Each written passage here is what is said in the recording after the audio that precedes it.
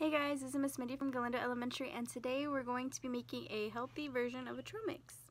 What you're going to need is a large bowl, banana chips, pretzels, raisin, Jolly Time healthy popcorn, Teddy Grahams, and granola.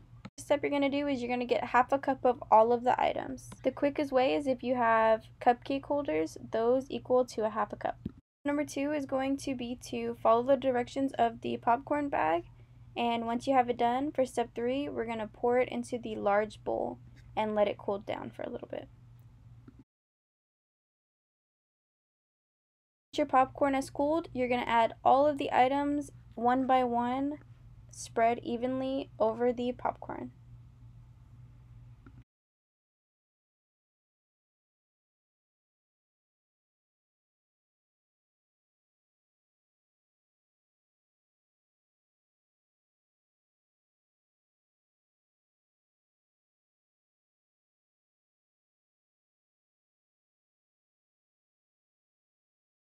Once the items are in, it should look like this.